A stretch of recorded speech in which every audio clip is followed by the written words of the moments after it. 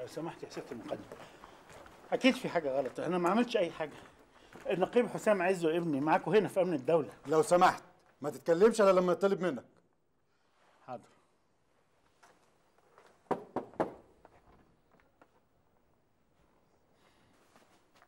حمادة عز وسيادة العقيد. عقيد.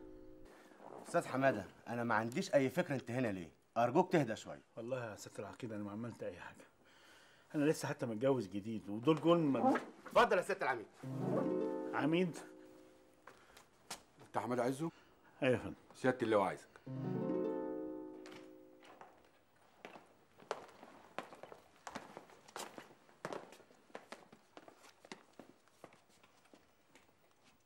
اتفضل اتفضل يا أستاذ حمادة. اتفضل اقعد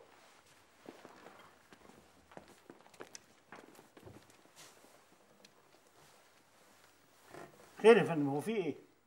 لا أنا بقى أتكلم معاك بصفة ودية. أتكلم معاك كأب. أب. آه. يا فندم أنا كنت قطعت الخلف خلاص.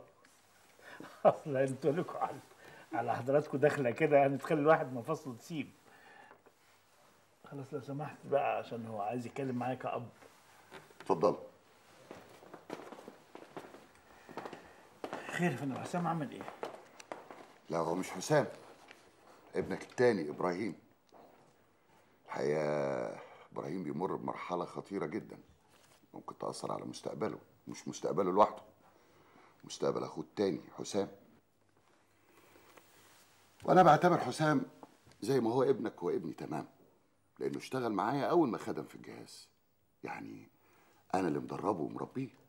ده شرف كبير لينا يا حمادة بيه. ابنك إبراهيم ماشي في تيار خطر جدا. أحسن له يسيبه ويلتفت لدروسه. بيطلع في مظاهرات وبيكسر في ممتلكات الناس. الحقيقة إحنا شدينا ودانه مرة واتنين لكن ما ارتدعش بيوزع منشورات بيكتب فيها كلام سيء جدا في حق ناس كبار في البلد. إحنا خلينا الجامعة هي اللي تتصرف. عشان ما يقولوش البوليس بيتدخل في كل حاجة. إنما توصل إنه يسجل شريط بصوته. يشتم فيه كل رموز البلد وبألفاظ بذيئة جدا. لا لا لا لا.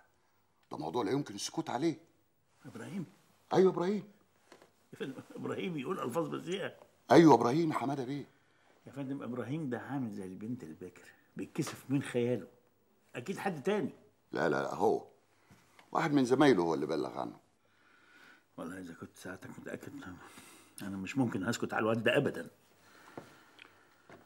ابعت لي إبراهيم. أنا عايزك تتعامل مع الموضوع بحكمة يا حمادة بيه. تحتويه تتكلم معاه تاخده في حضنك لأن هو محتاج لك أكتر. حاضر حاضر. ادخل. تعالى يا حسام الوالد هنا أهو. جه على طول أول ما عرف باللي عمله إبراهيم أخوك. آه تهيألي اسيبكم مع بعض أحسن. على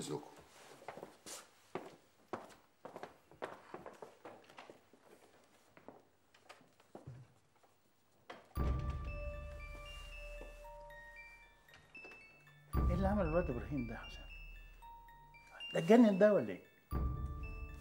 معقولة؟ لا لا لا. أنا سكت عليه كتير على فكرة. بس المرة دي مش هتعدي على خير. يسجل كلام ألفاظ بذيئة. لا كده تجاوز كل حدوده.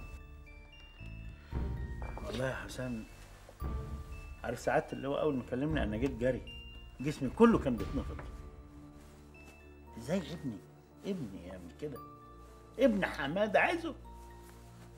والله حسام أنا ما أنا مصدق.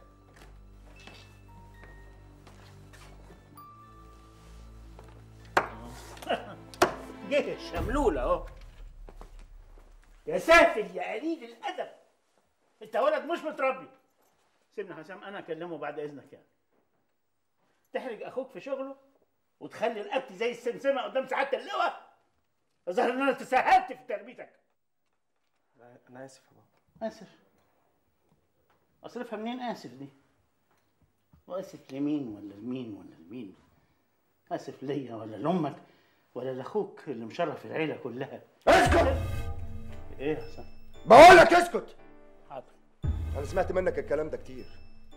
أنت إيه؟ التمثيلية دي ما تزهقش منها؟ أنت السبب في ده كله. أنت السبب في اللي إحنا فيه ده. إيه يا حسام هو أنا اللي سجلت الشريط بصوتي ولا الواد السافل ده هو اللي جابنا لهنا؟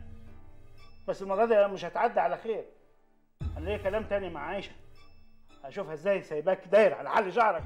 أمي مش سايباني يا بابا. أمي هي اللي جت معايا الجامعة وجابت لي الكارنيه بعد ما سحبوه مني. أيوه غير أنت الموضوع بقى.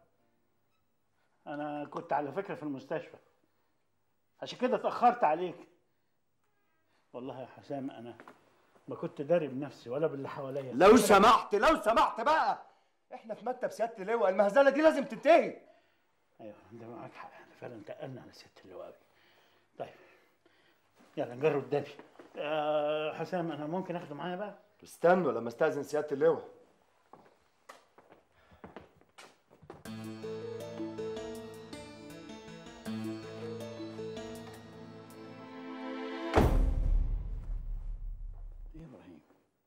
إبراهيم دي عامله تعملها. كفاية بقى يا بابا.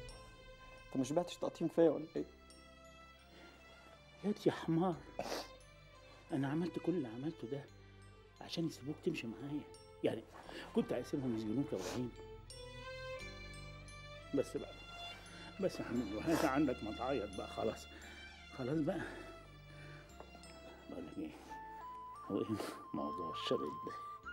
كلام كلام بذيء بذيء. لما نخرج من هنا ابعتولي بلوتوث.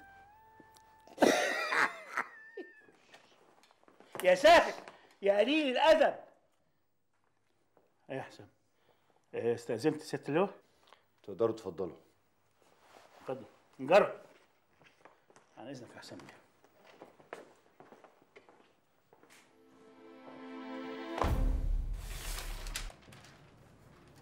دي شركة وومن براند بعتين لك فاكس يا رب يا جيجي يكونوا وافقوا يدوني التوكيل. اقري كده.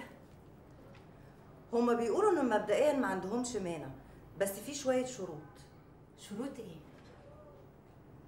المليون دولار التأمين يتحطوا في بنك أجنبي. أيوه ما أنا عارفة. ومعترضين على مساحة المحل بتاعك. بيقولوا على الأقل المساحة لازم تبقى ضعف المساحة دي علشان ده هيبقى توكيل الماركة في الشرق الأوسط كله. وإيه تاني؟ ومدين لك مهلة شهر عشان ترتبي أمورك. وطبعا هتضطري تسافري لهم وتعملي معاهم meeting في باريس خلال المهلة دي. دي فرصة عمري يا جيجي هو ده الحلم اللي بحلم بيه طول حياتي. هو ده ال level اللي بتمنى أشتغل فيه. طب وإيه المشكلة؟ ما هي محلولة. أمال إحنا اتجوزنا حمادة عزه ليه؟ مش عشان الظروف اللي زي دي؟ تفتكري هو ده الوقت المناسب؟ ده أنسب وقت. وبعدين كويس قوي إنهم ادونا مهلة. وبعدين بصراحة حمادة بقى ده مش المفروض يديكي المحل بس ده المفروض يدفع لك التأمين كمان. هو انت غريبة؟ ده انت مراته. المهم ألاقي الوقت اللي أعرف أستفرد بيه وأكلمه. ليه؟ هو انت وهو ما بتقعدوش مع بعض لوحدكم؟ لا طبعا. على طول ماما نونا معانا.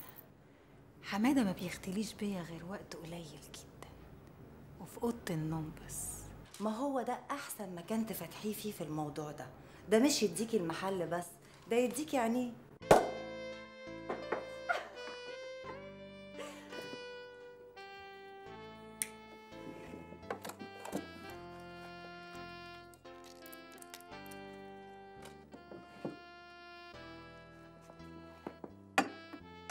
ماما نونا قعدت تنايم في هيثم ساعة وأنا قعدت أنايم في ماما نونا نص ساعة. أنا ما قلتكيش على الواد إبراهيم والقصيدة اللي كتبها؟ مسخرة يا ناس.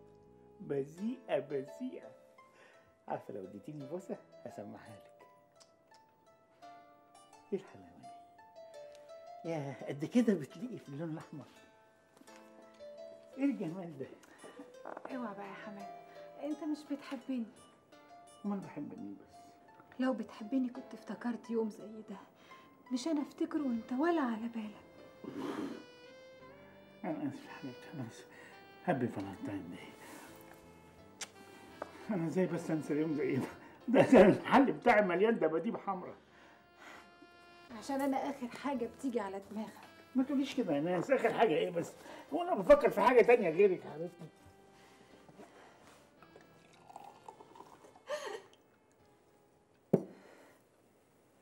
معقولة ده هتبوظ الفالنتين كده يا ناس. في حد يا حبيبتي يعيط يوم عيد الحب؟ الظاهر إني رميت عليك نفسي زيادة عن اللزوم. أنا حاسة إني بقيت رخيصة أوي. أنا اتجوزتك في لحظة. ما كانش في دماغي أي حاجة. غير إني بحبك وعايزة أعيش معاك. ما فكرتش زي أي ست لما بتتجوز لا في مهر ولا في شبكة ولا في حتى هدية جواز. أنت عارف إن أنا مش مادية. الفلوس دي آخر حاجة تهمني لكن الإحساس إحساس الواحدة إن الراجل بيحبها بيقدرها. ده إحساس مهم جدا لأي ست يا حمادة. أنا فعلا قصرت معاك في الحكاية دي أنا مش عارف إزاي ما جاش على بالي الموضوع ده. أنا كنت لازم أجيب لك هدية تناسب حبي ليكي. ملحوقة. اطلبي أي حاجة دلوقتي وطلبك مجاب. شوفي اعتبريني العفريت اللي يطلع لك من المصباح لما تدعكي لي يقول لك شبيك لبيك عبدك وبين ايديك يلا حبيبتي ادعك المصباح. بلاش ادعك لك نفسي أنا. شبيك لبيك عبدك وبين ايديك اموري عايزة إيه؟ يعني اطلب قشري شاوري على أي حاجة في الدنيا. في ثانية تبقى قدامك وبتاعتك أنا مش طماعه أنا مش هطلب غير طلب بسيط ومش هيكلفك أي حاجة. يا ناس أموري. أنا عاوزاك تكتب لي المحل بتاعك باسمي.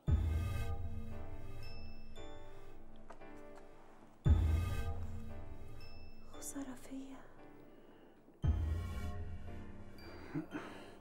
طب طب طب ما تسيبيني أنا. أجيب لك هدية على ذوقي. مش يمكن أجيب لك حاجة أحسن من المحل التعبان ده؟ إيه ده يا حماده أنت مستخسر في مراتك. مستخسر إيه يا حبيبتي؟ يا ناس أنا ما استخسرش فيكي ملايين الدنيا كلها بس أصل المحل ده له معزه خاصه عندي. يعني تقدري تقولي إن أنا مرتبط بيه عاطفيا ما أقدرش أستغنى عنه. بحبه أكتر مني. لا يا حبيبتي أنا ما بحبش حاجة في الدنيا أكتر منك. هو أنا بقول لك تبيعه وتديني ثمنه ده أنا بقول لك اكتبهولي باسمي بس وهيفضل زي ما هو محلك برضه. وأنا عندي ال beauty center ده مش يعتبر تبعك.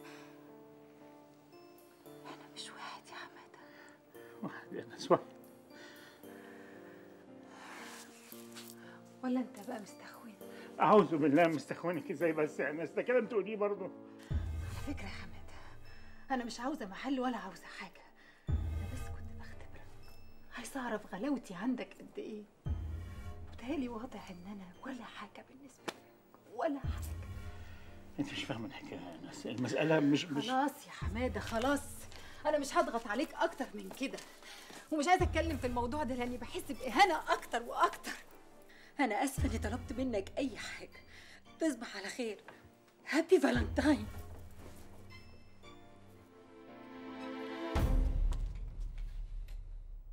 ايناس النوس قومي بس نتكلم.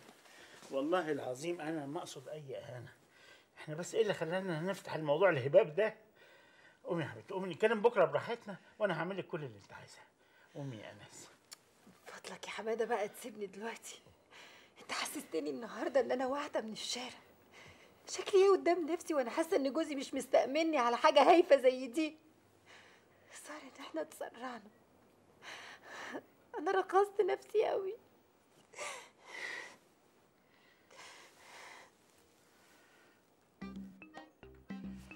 ايناس قومي قومي بقى. ما تبوظيش الليلة بقى.